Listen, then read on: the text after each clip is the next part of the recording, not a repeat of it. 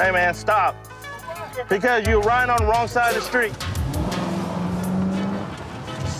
Stop. What you want, what you want, what you gonna do when Sheriff John Brown come for you?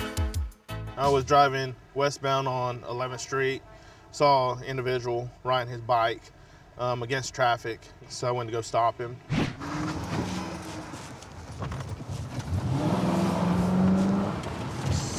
Stop! Help. 44, he's running southbound on Pike. My car's on 10th Street. When I cut him off, he just dropped his bike and the curb was real close to my car. When I opened the door, the curb was right there and then the bike was right there. I had a hard time getting out of my car to chase after him. We are familiar with that house. It's a known gang house that we kind of keep an eye on. Get down on the ground now! Now, get down, get down on the ground!